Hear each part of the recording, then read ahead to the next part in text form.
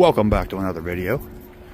We are at Six Flags Great Adventure and we are going to ride the tallest roller coaster in the world. Kingda Ka. Uh, as many of you probably know, it's been rumored that it's going to be done after this year, after the day actually. So we made our way out here. We figure we're going to get a ride in on it. So we'll see you inside the park.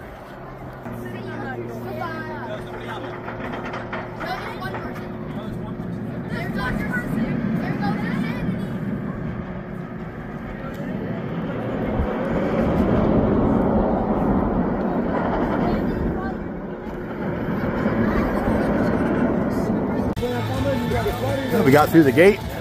Now we just got to find our way around. I don't know this park at all. So we're just going to kind of feel our way through it.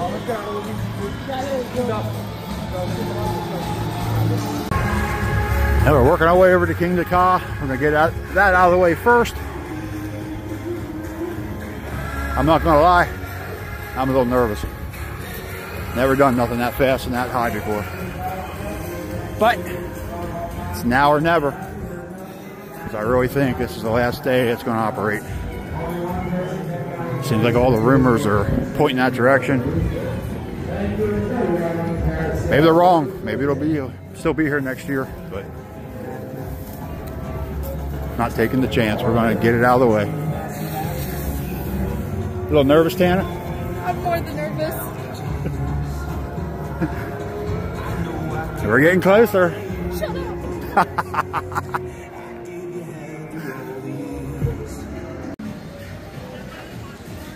There's a couple more rides that's rumored to leave.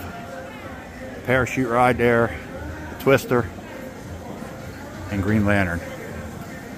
I guess technically Zumanjaro is going to go too. I mean, it's on King Kingda Ka structure, so obviously it'll have to go. Here we are, we're entering the Golden Kingdom. That's where Kingda Ka is located. Not too busy today kind of expecting more of a crowd with the, all the hype around this thing.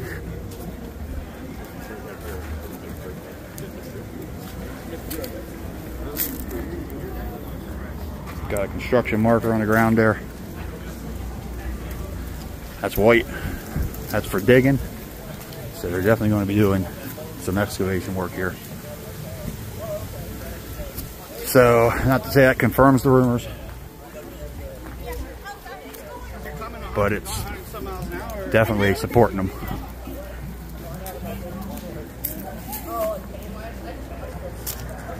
Here we go. Here's the queue line for Kingda Ka. We're getting ready to get on it. Unfortunately, we have to put everything in a locker, so this is as far as I can take the camera. So I'll see you on the other side.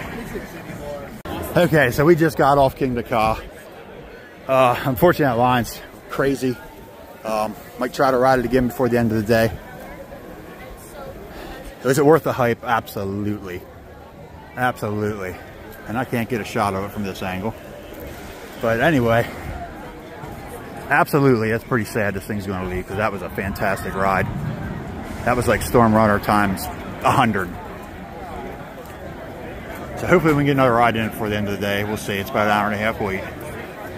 But what a fantastic ride. That was crazy.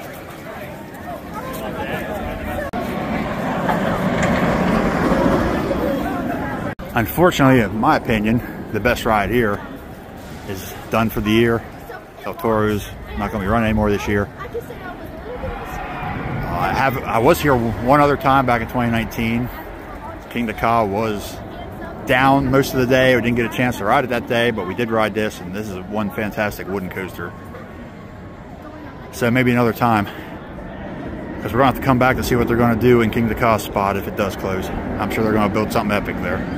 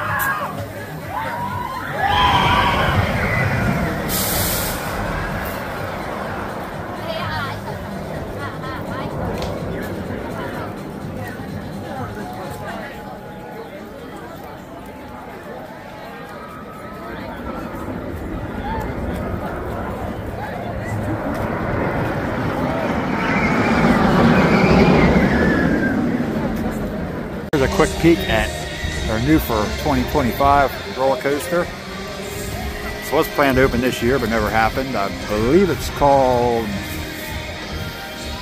it's themed to the Flash. I, I can't remember what the exact name is of it, but it's a next generation Vekoma boomerang, and it does look pretty amazing.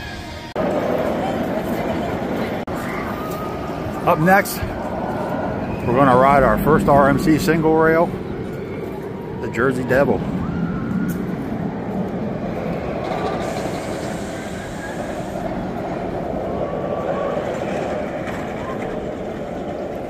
honestly don't know what to expect on this.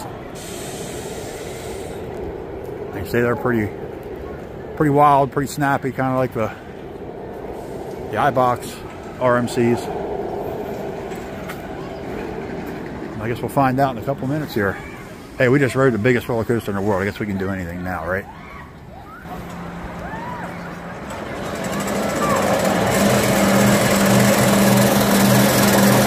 Does that signature RMC loud chain lift.